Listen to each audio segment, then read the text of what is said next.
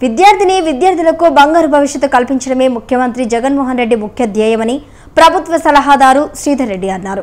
విశాఖ శీలానగర్లోని జరిగిన world youth skill day సెలబ్రేషన్లో ఆయన ముఖ్య అతిథిగా పాల్గొన్నారు.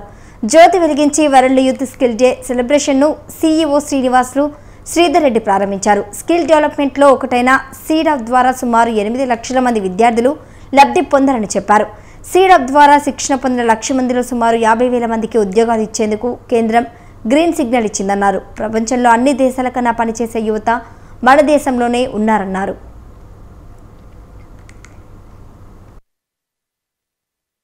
యువత నైపుణ్య దినోత్సవం సందర్భంగా విశాఖపట్నంలో మరి నిర్వహించబడుతున్నటువంటి యూత్ స్కిల్స్ డే సందర్భంగా మరి మన రాష్ట్రంలో ఉన్నటువంటి యువత అంతా కూడాను నైపుణ్యం అభివృద్ధిలో పాటుపడి వారికి మంచి ఉపాధి అవకాశాలు కల్పించాలి అనే ఒక బృహత్తరమైన ఉద్దేశంతో చేపట్టబడిన గౌరవ ముఖ్యమంత్రి గారు శ్రీ జగన్మోహన్ రెడ్డి గారి ఆధ్వర్యంలో మరి ఈ యొక్క కార్యక్రమాన్ని చేపట్టడం జరిగింది. ఇందులో భాగంగా మరి ఇప్పటికే రాష్ట్రంలో నూట తొంభై రెండు స్కిల్ హబ్లు ఇరవై ఆరు స్కిల్ కాలేజీలు దాంతో పాటు మరి డిడియూజీకే కింద ఉన్నటువంటి రాష్ట్రంలో నూట ఇరవై మూడు కేంద్రాల్లో మరి